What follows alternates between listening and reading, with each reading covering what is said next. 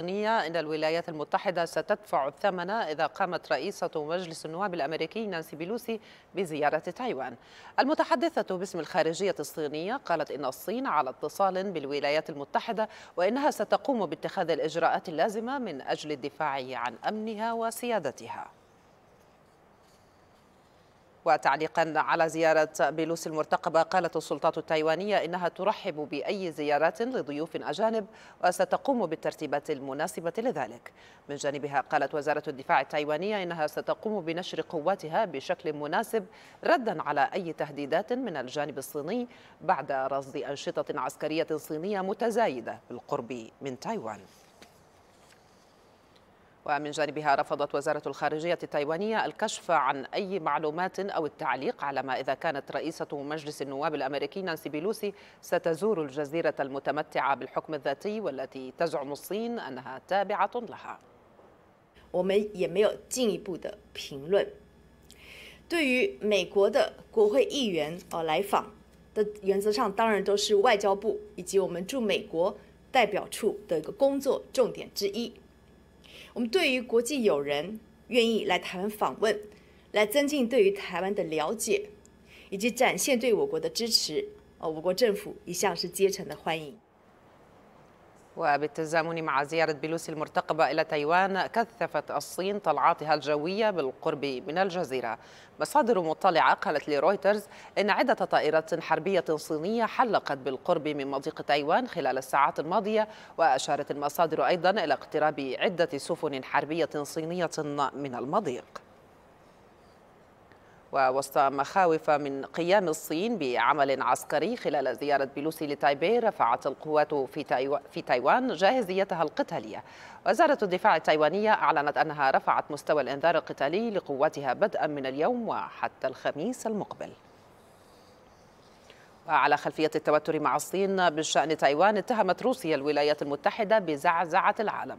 يأتي هذا الاتهام بالتزامن مع زيارة مرتقبة لرئيسة مجلس النواب الأمريكي نانسي بيلوسي إلى تايوان وسط رفض من الصين التي تقول إن تايوان جزء من أراضيها.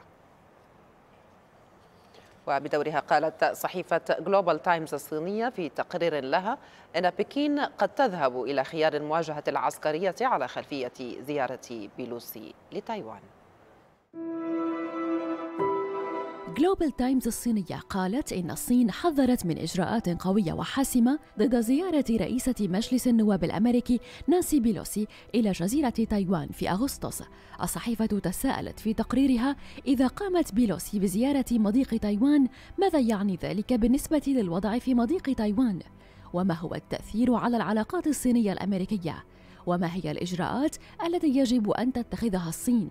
ردا على زيارة بيلوسي المخطط لها قال الرئيس الأمريكي جو بايدن إن الجيش الأمريكي يعتقد أن رحلة بيلوسي ليست فكرة جيدة في الوقت الحالي وتساءلت الصحيفة عن تفسير لهذه الكلمات وأشارت الصحيفة في تقريرها إلى أن الحكومة الأمريكية الحالية بشكل عام هي شبه مشلولة ومنقسمة كما أن الولايات المتحدة في الوقت الحالي ليست مثالا على الضوابط والتوازنات حيث يقوم كل فرد بعمله الخاص دون أي تنسيق. ويعتقد أن زيارة بيلوسي لتايوان لها اعتبارات تتعلق بالانتخابات النصفية في محاولة لتوفير بعض الزخم للحزب الديمقراطي.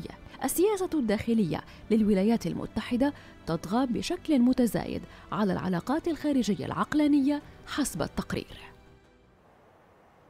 هذا ووصلت رئيسة مجلس النواب الأمريكي نانسي بيلوسي إلى ماليزيا قادمة من سنغافورة في ثاني محطة لها خلال جولة آسيوية تقوم بها. بيلوسي التي يتوقع أن تكون وجهتها التالية تايوان حيث التقت أعضاء البرلمان الماليزي في كوالالمبور وسط تصميم أمريكي على إجراء الزيارة والتجديد على أن التهديدات الصينية لن تخيف الجانب الأمريكي.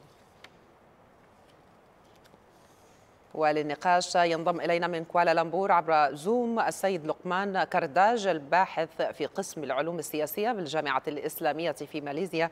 أهلا بك معنا سيد لقمان. بداية آه، وبالعودة آه، قليلا إلى الوراء الجيش الأمريكي أعلن في وقت سابق معارضته لزيارة بيلوسي لتايوان لكنه امتنع بعد ذلك عن الإدلاء بتفاصيل بشأن التحذيرات. كذلك الرئيس بايدن تحدث عن الأمر وتركه لبيلوسي آه، أنها هي التي ستأخذ هذا القرار.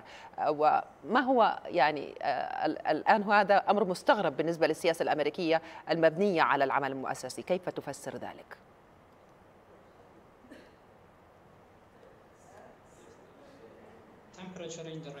إن ارتفاع درجة الحرارة في المنطقة واضحة جدا بسبب هذه الزيارة من السيدة بلوسي إلى تايوان. وطبعا كل جانب يصر على موقفه بشأن هذه الزيارة.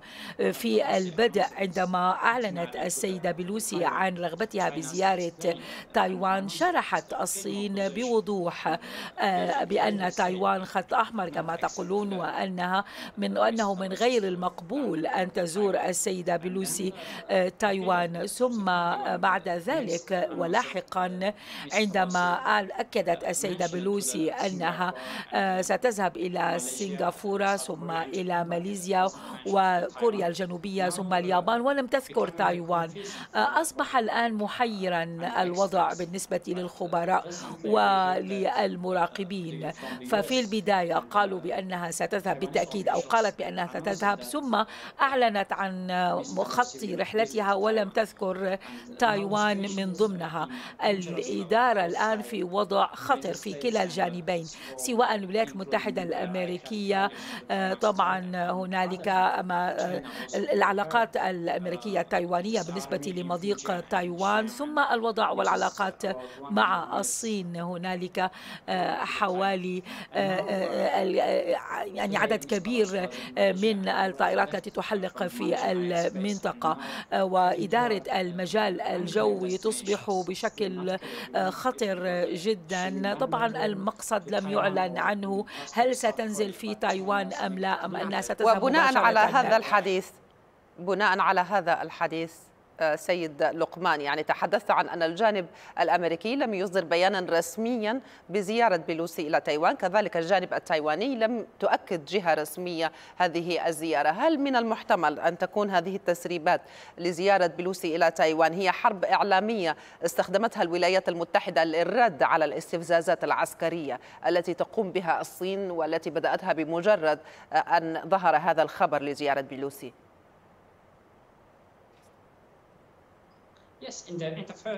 نعم. أعتقد ذلك. فأولا عندما آه، تم الإعلان عن مقاصد السيدة بلوسي في زيارتها لم تذكر تايوان. ولكن لاحقا الولايات المتحدة الأمريكية والمسؤولون في تايوان أيضا قالوا بأنها ستزور تايوان. إذا يجعل هذا الأمر الوضع غير واضح. وربما وزارة الخارجية الصينية ترد وقد ذكرت بوضوح بأنها سيكون هنالك ردة فعل على زيارة السيدة بلوسي لتايوان. هنالك أمر آخر حاليا موجود. آه، الصين في مرحلة مختلفة عما كانت عليه في أزمة العام 1979 آه، بشأن زيارات الرسمية إلى تايوان. فهنالك وضع مختلف الآن يتعلق بالتكنولوجيا والتأثيرات العسكرية. وثانيا آه، أصبحت زيارة السيدة بلوسي عبارة عن مجال للمنافسة بين الطرفين. آه، كل جانب يشعر بأنه إذا خسر الحرب الدعائية الخاصة بهذه الزيارة فسيخسر وبالتالي يؤكد على آه، الإعلان تماما كما ذكرتم هي حرب دعائية تدور الأمور الآن نعم. بين الصين وبين الولايات نعم. المتحدة الأمريكية من ناحية أخرى بكين لا تستطيع أن لا تفعل شيئا إذا ما زارت السيدة بلوسي تايبي فيعني ذلك أنها خسرت حربها الدعائية مع الولايات المتحدة نعم. الأمريكية سؤالي أيضا سيد لقمان يعني على صعيد آخر هنالك تقارير تتحدث عن أن السبب الرئيسي في تصعيد بكين للهجتها تجاه هذه الزيارة هو يعني سعي الرئيس الصيني لولاية ثالثة بعد المؤتمر مؤتمر الحزب الشيوعي الذي من المزمع أن يقام خلال الأسابيع القادمة مما يضغط على القيادة في بكين لإظهار القوة إذا هو شأن داخلي يعالج ببروباغندا يعني عالمية هل تتفق مع هذا الرأي؟